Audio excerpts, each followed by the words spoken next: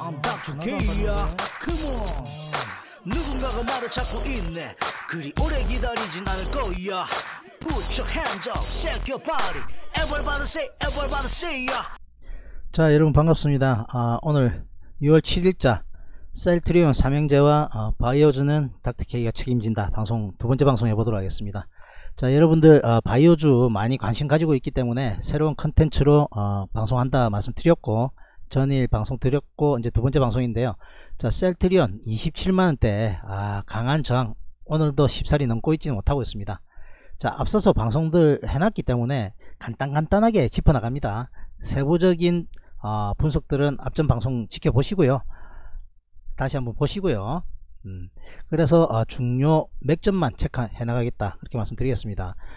자 셀트리온은 24만원과 자 25만원대 음, 지지를 받으면서 지금 현재 더 이상 하락으로는 아, 진행되지 않고 20일과 60일 인근의 좁은 그래 120일 인근의 좁은 박스권 안에서 거의 2주 동안 지금 횡보하고 있습니다.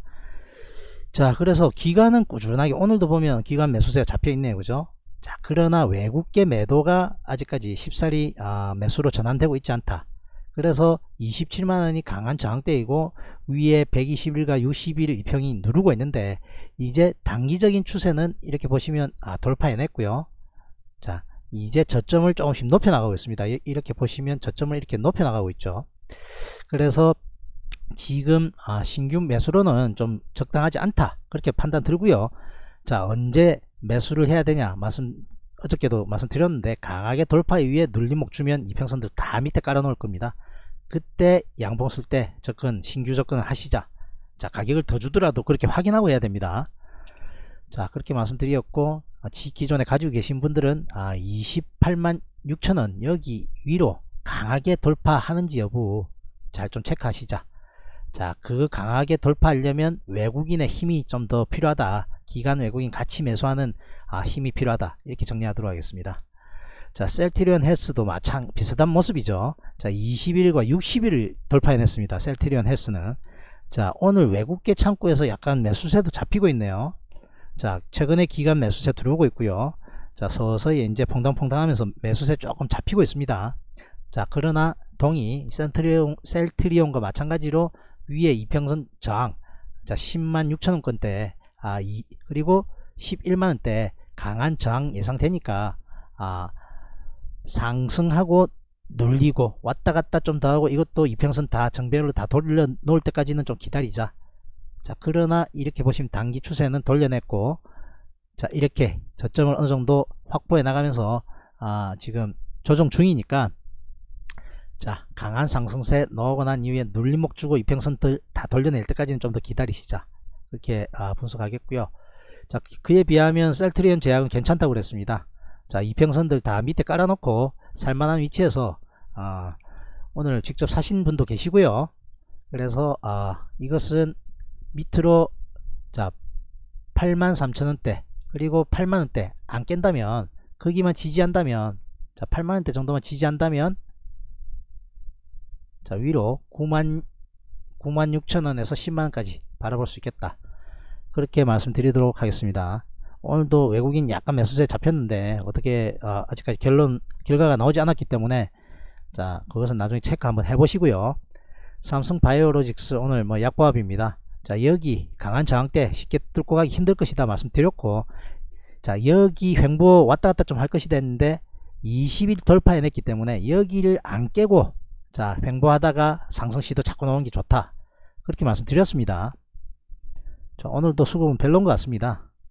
그래서 지금 당장 삼성 바이오로직스도 어, 상승세 나도 45만원 인근 가면 강한 저항대 예상된다. 그렇게 말씀드리겠습니다. HLB 자 접근하지 말자 그랬고 접근하지 말자 했던 그 가격대 인근까지 왔습니다.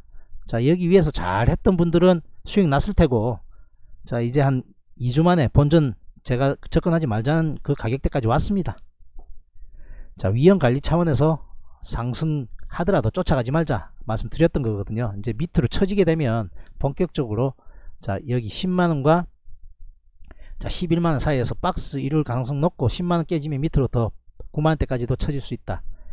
그렇게 말씀드리겠습니다. 자 오늘도 어 이건 나중에 뭐 좀 챙겨봐야 되겠습니다만 소폭 외국인 매도 우, 위인데 이것은 나중에 결과 나봐야 되겠습니다. 신라젠도 마찬가지입니다. 21선까지는 올라타는데 성공했고 아직까지 매수 타이밍 잡기에는 부담스럽다. 올라가도 10만원대 저항 받을 것이기 때문에 이것도 더 기다리자. 네이처셀 아, 여기 27,000원 깨지면 아, 밑으로 하락할 폭 아, 22,000원까지도 열려 있으니 이거 지지한 27,000원대 지지하는지 잘 체크하시자. 그리고 위에 저항대 3만원대 아, 3만 1,000원대 저항대 만만치 않거든요. 자, 이거 잘 돌파하는지 여부 책, 챙겨 보셔야 될 것 같습니다. 자, 오늘 두 번째 시간으로 어, 셀트리온 삼형제와 어, 바이오주는 닥터케이가 책임진다.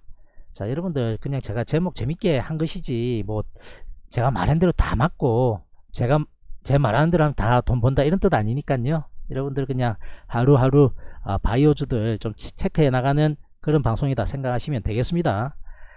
자 그리고 구독 안 하신 분들 계신 것 같은데 구독도 좀 눌러 주시고요. 지인들에게 SNS로 닥터케이 유튜브 추천도 좀 해 주시기를 부탁드리겠습니다. 자 그럼 전 다음 시간 또 찾아뵙도록 하겠습니다. 바이바이. 누군가가 나를 찾고 있네.